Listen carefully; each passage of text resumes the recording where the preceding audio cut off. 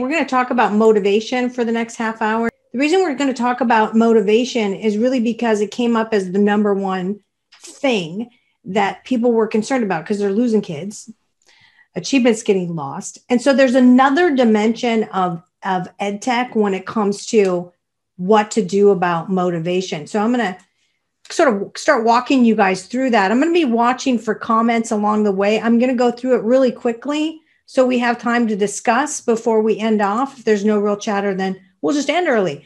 But um, motivation, like I said, is is number one. It's 85% of schools and districts are concerned about this because, like Leslie was just saying, and Jason, there's some kids that are maybe remote. If you're simultaneously teaching, you're worried about motivating them. You're also worried about motivating the ones in the classroom. And there's some new tricks that we want to share with you that we have figured out over the course of the last year. So, first of all, the book that inspired us, and we had Dr. Cheryl Abshire talking about this a lot last fall, but it was a book called The Motivation Breakthrough. And if you have a chance to get it from Amazon, please do. It's Six Secrets to Turning on the Tuned Out Child. We kind of updated our understanding of it because it's not a very new book, but it's awesome. And it has a lot of really interesting information. So, let me give you the Learning Counsel view of that data so, first of all, I talked earlier about the major shift. Our concern is traditional public needs to not only pay attention to its digital side, it needs to pay attention to its human side. So, there's already a big trend of social emotional learning. But let's talk about what the teacher is doing with the way kids are, because they're all individual little human beings and they're all different, um, in front of them or coming in over the web in uh, live virtual conferencing and how they're using that. So we we in this book, um, the motivation breakthrough. There's basically eight forces that motivate kids.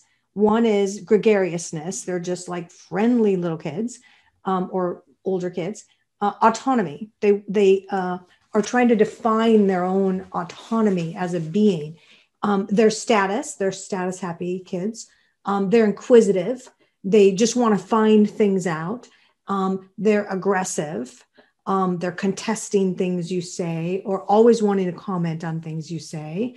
They're power hungry, um, not a strange motivation in humanity. A lot of kids are motivated this way. They want to um, demonstrate that by participation or by running a small group or something like that. Or they're looking for recognition, they want the rewards. Um, or they're affiliation oriented, which means they're part of this thing. And as long as it's acknowledged that they're being part of whatever it is a small group, a whole group, a club, um, a group of friends they feel like they're motivated. Um, this is one of the ones that is the most in jeopardy and the most complicit in seeing lost achievement, lost engagement is the kids that are either the gregarious kids or the affiliation motivated kids because they're not part of the old way of doing things, always being in a class. And that is really messing with their motivation right now. So that's just something to pay attention to. Let me talk about what are the secrets behind those. So projects, whether they're digital projects or hands-on, go do the laundry at home with a certain kind of thing and then give us the laundry experiment report back or a cooking experiment you can do at home or you know uh, growing a plant or whatever or go around the backyard with a plant detecting app and tell me which kind of plants you found in your yard all those little projects um, motivate that autonomous or inquisitive child. The autonomous child is motivated by being able to come back and do something that they did on their own. They love this. Um, inquisitive child's like, I want to find out something new. Um, then there's the people motivated child. Again, these are the ones that have dropped off the radar the most nationally. Kids that are motivated um, by gregariousness, or they're else they're they're affiliation driven child. They like to be part of groups. Um, those are the ones that are most concerned right now nationally because they don't feel like they're learning unless they're getting motivated by other people. Maybe that's not just the teacher. So the attention in 2021 of what's going on between kids needs to go way up. Um, and then praise, kids are motivated um, by the status of praise, getting a gold star, uh, recognition, or affiliation driven child. All of those have elements of needing to be praised in order to sort of move along. That's hard to do when you're trying to chat with people and acknowledge people that are in front of you at the same time. Um, and then you got the prize motivated child. those are the status ones, the affiliation or power driven child. They're also motivated by prizes. Prestige is also motivating to the autonomous status, aggressive or power driven child. Prestige could come in the form of grades, it could come in form of you know acknowledgement from all the way up at the principal level uh, and that kind of thing. And then power um, motivating the power uh, that motivates the um, power autonomous or aggressive child. That's things like you open the team's meeting. Now you say something to the whole group or you're going to run this small group over here.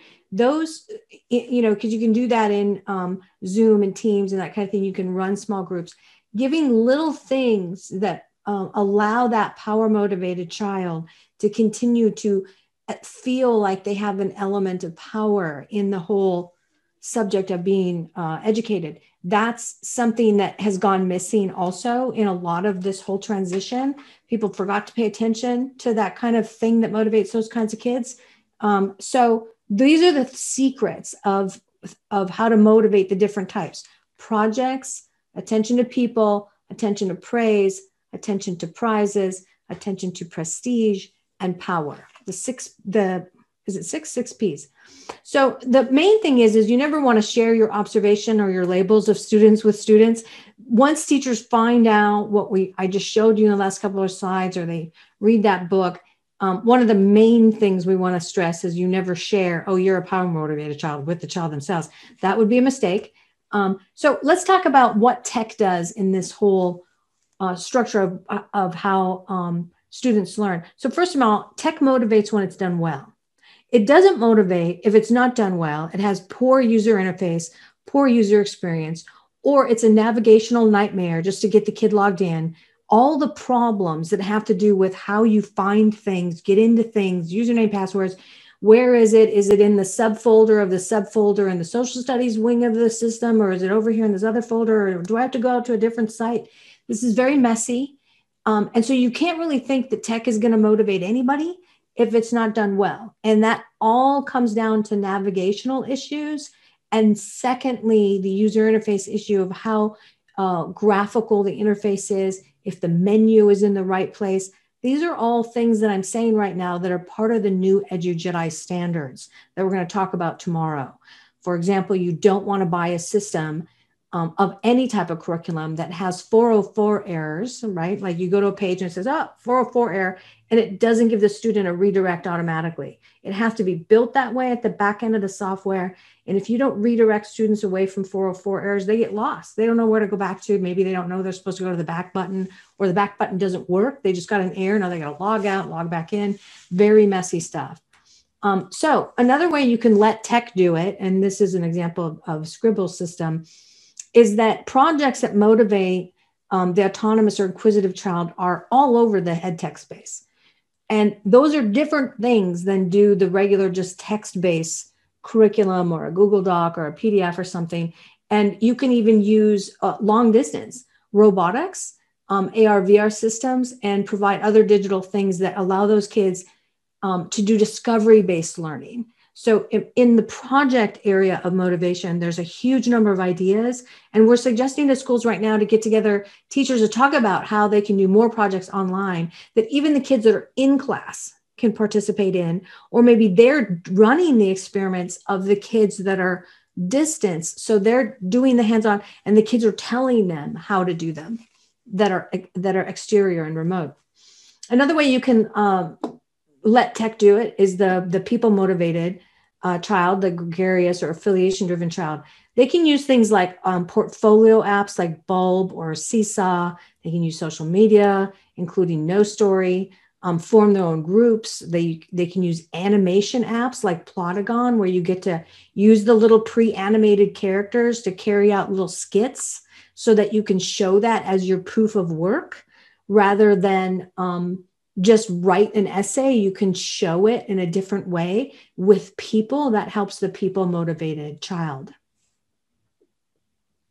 Okay, another way that you can let tech do things in order to use prestige to motivate the autonomous status, aggressive or power driven style is the, the crafted courseware that's in the market now. And there's, there's hundreds of these companies Um, they're built for high engagement and they allow for personal progress reporting back to the student themselves. And they give chances to control um, how you as a student get up to the next level. This is different than when I talked about hybrid logistics. This is embedded in the adaptive digital courseware. Um, but a child will get like a little gold star or a little fireworks will go off. And that's all telling their mind there's prestige in their achievement. Um, so when you're looking at software, you're thinking of these six P's and saying, is it hitting some of those? And one of the ways it can hit them is, like I said, little stars going off or dancing widgets on the screen telling the child, oh, yeah, you did something, you're done. Um, go to the next level. Those are those are the way that tech is helping you with that um, motivation piece. Another thing about prize praise and prizes that motivate that recognition or affiliation driven child is software that shows your own progress or what you're supposed to be doing next. ClassLink showed this a little bit, like in terms of the graphics that show the teacher how you progress. A lot of software shows the student themselves. You're progressing along. Here's what your next step is. That really helps students because they feel like they're getting towards a prize, giving little stars and coins and um, other sort of rewards within the systems is another way that tech is doing this for you to motivate students. Now, the schools that are missing out on this are ones that are going, we're just going to Zoom meet. Like Leslie was talking about, like that wasn't working. You got to have a different sort of structure to how you're going to teach. You can't just Zoom and PowerPoint all day. Um, the ones that are doing that, or else they're just passing out PDFs via email back and forth, that doesn't actually hit these points of motivation because those are all missing when you're not in person. If you're in person, the teacher can eyeball on you and smile, you know, give you a little thumbs up. Um, but if you're not getting that when you're at home, you're missing a huge point of what motivates certain kids and actually eyeballing what is the motivation of each child each child is going to help you as a teacher and there's there's some tests um, little tiny quizzes or a little uh, sort of look at and analyze that student in the book. Um, and we also have those available at Learning Counsel. They've been updated by Learning Counsel on a little PDF we can give you if you want it. Um, another way to let tech do it with a power motivated child, they want to be, they want to have some power. They want to demonstrate that they're in charge of something, um, letting them be the question leader um, in one hour of the day um, being an autonomous or aggressive child anything that's going to show that they have some power is is a motivation that can go missing in all the online one way that a lot of schools have been doing.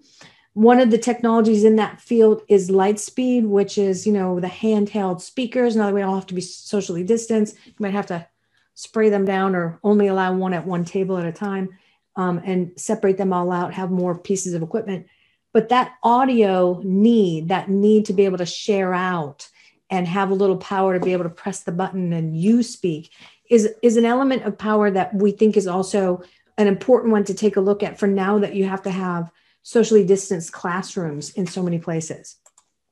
Okay another way tech, uh, you can let tech do things is there's new things coming out both from no story for hybrid logistics as a demonstration so the whole market can get on board and start using that kind of stuff.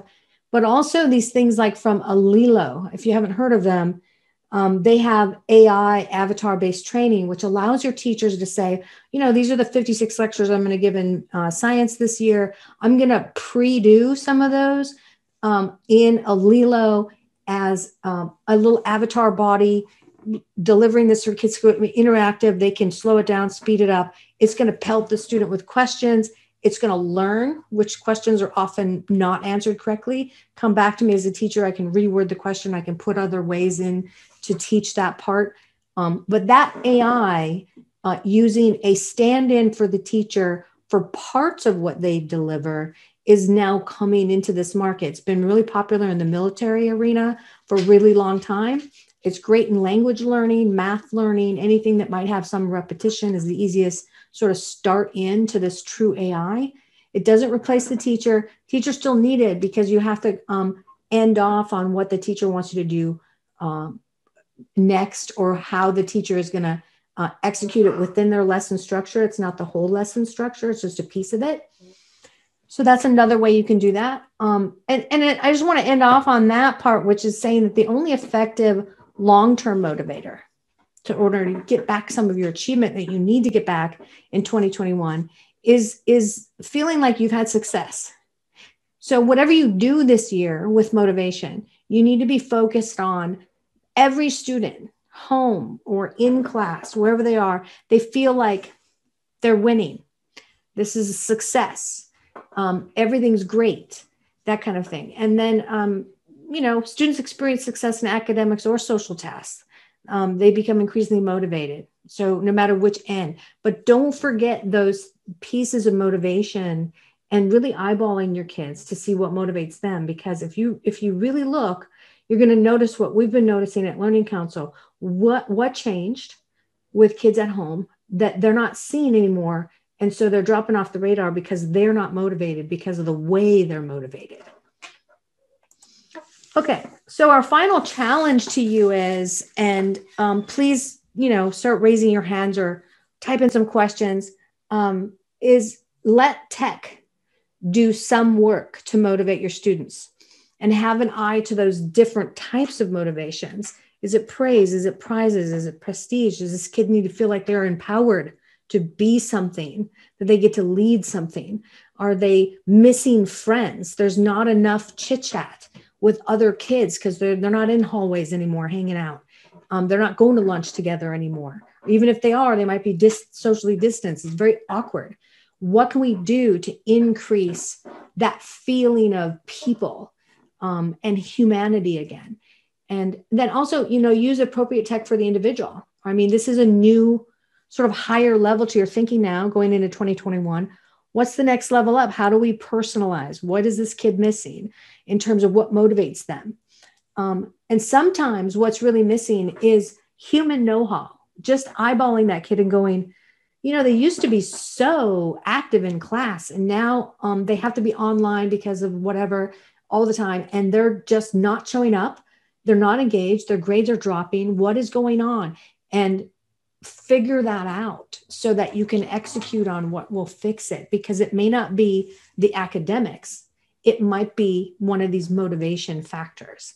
So i just want to bring that up with everyone today um, and then let you know you know we're going to give you edu jedi badges. You have to get them in no story for completing both the hybrid logistics today and the student motivation today. Um, i'm going to go back one slide and just come back up to this for a minute and make sure anybody that hasn't commented comments. I'm also going to have Doug unmute everybody right now that's left on the line so I can hear from you and have you comment on anything. Um, Jason, I see you're still on the line, and so is Leslie.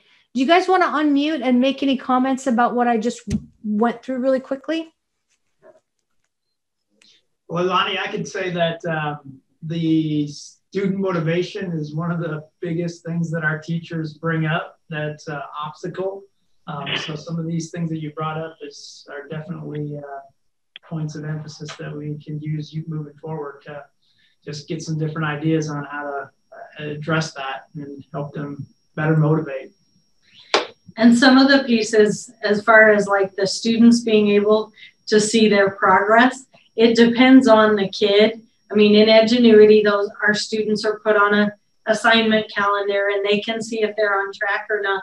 We were laughing that years ago, an old version of A plus software um, had apples and the kids earned their apples and and it was amazing a little bit how much you could tell a kid, you know, okay, you need to earn two apples today. And even our high school students would go earn their apples. So so there is some truth to just that little bit of a badge or seeing your progress and knowing or being motivated that I know if I get this done, then I'm done. It's that's my homework for today or whatever. Yeah, those are big ones. I think like I said the ones that I'm more concerned about are these kids that are motivated by the dynamics of interaction with uh, people because they're little friendly people like they just want to be like people people and then the ones that are are really motivated by affiliation like a sense of belongingness because i think that's what we sacrificed the most in the last year and those are the kids that i think are seeing the most loss of achievement they just sort of wilted So, what are your thoughts on those kinds of kids? How motivating them?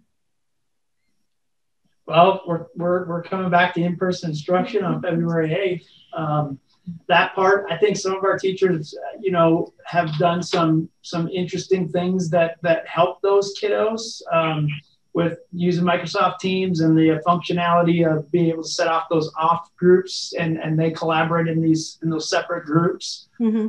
Um, but my I, Leslie just said my daughter's one of these that you're talking about, and uh, she's in one of our high schools. yeah, and you know her GPA dropped first semester because she just really just had motivation issues and stuff. So um, she's excited now. And, and you know one thing I said to Leslie this morning about, about my daughter is is I think we look at academics and measures all the time and, and previously, and I, I just have struggled with it for the whole semester with our my daughter and my my wife and I and and uh, trying to look at the positive of this. And I'm like you know the one thing she said to us recently is is yeah I'm I'm good now guys. I'm good. I, I got it figured out and stuff. And I think some of the lessons she learned from that that semester and having a tough stretch there and figuring out how to overcome that I, you you can't replace that or take that away from um, so some of those things are struggles that if they overcome them and we help them overcome them, they can actually, I think, end up being a positive for for kiddos in the end. So we just have to get past the yeah. She, is she going to have some academic learning gaps in there? Probably a little bit. She didn't achieve where she normally does, but um, you know, with the life experience she gained and, and her self confidence through that, I think of, of negotiating a difficult semester for her and the emotions involved with all that are I, I think that's that's also a learning experience as well. So yeah, yeah, that's a big deal.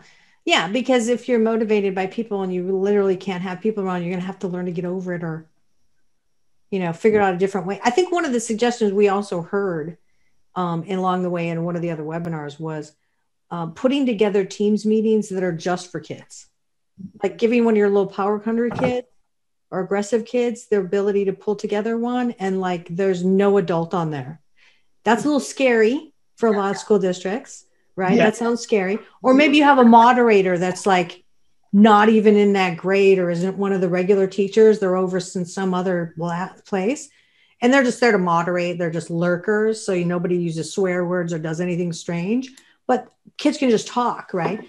Um, that putting together a different type of socialness is kind of what I'm saying. That has been one of the missing parts.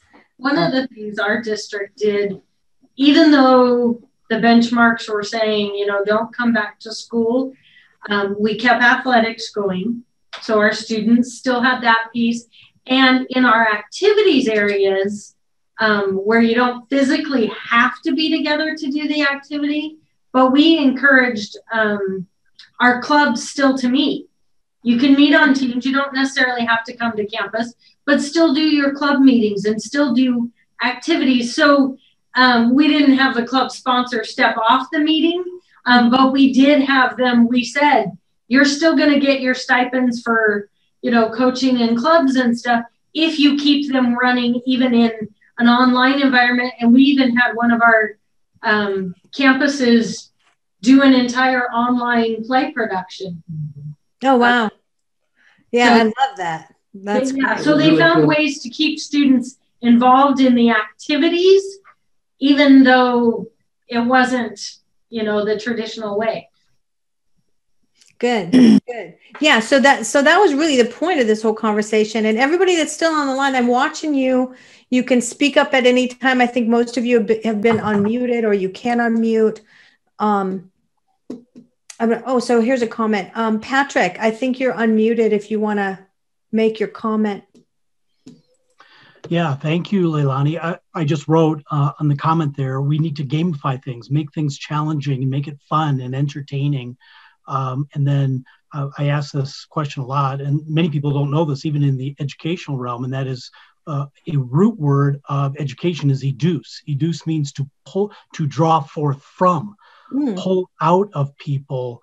and um, wow really i mean we kind of talked about it a little bit earlier you know don't just look at their eyes don't look at their body language and i, I agree with that but i think those give us very good insights into people mm. and if they look away or look down or cross their arms or there's a lot of ways to determine it but i think we also ask very good questions follow up and do a little bit of probing uh, in a very kind and gentle way to make sure that uh, we know exactly where they're at and how we can best help and support them.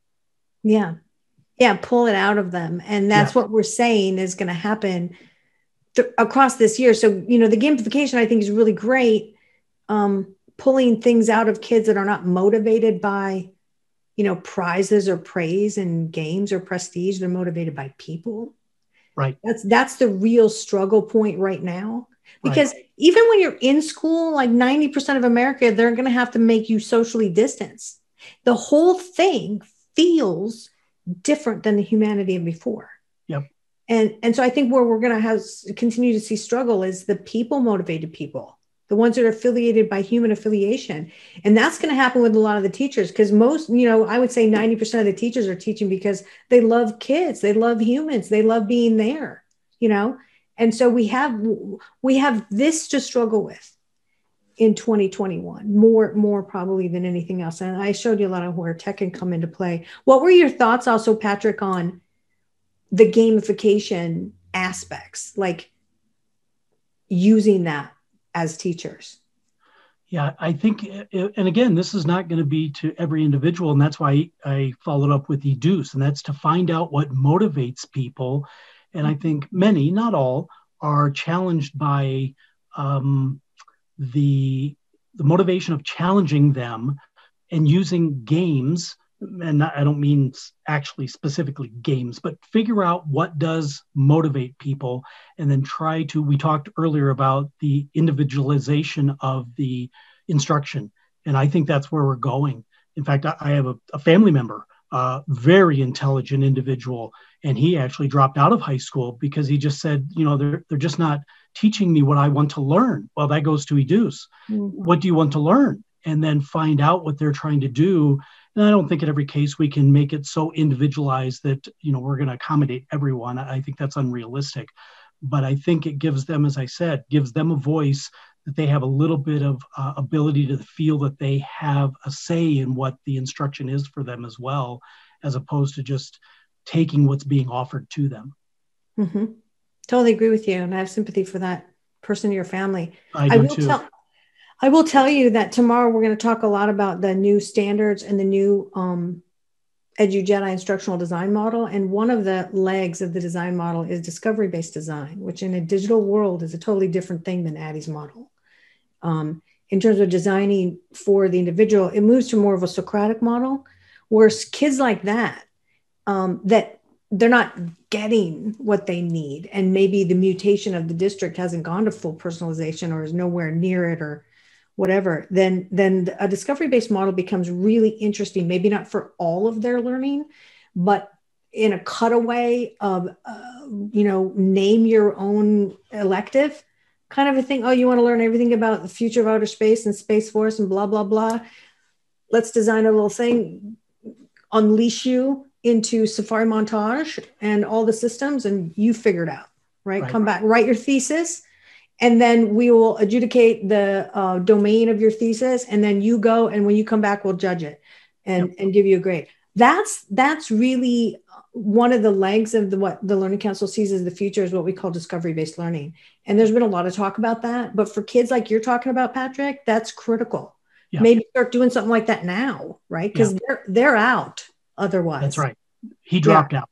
And look at some of the biggest companies uh, in America right now. They're giving people pick your percentage 15% 20% of their time you go do what you want to do and then come back and kind of report and keep us in the loop and they're discovering uh, number one and i believe this i believe people are brilliant when put into their own space and what excites them about the learning uh, i think it's amazing what what we all do mm-hmm.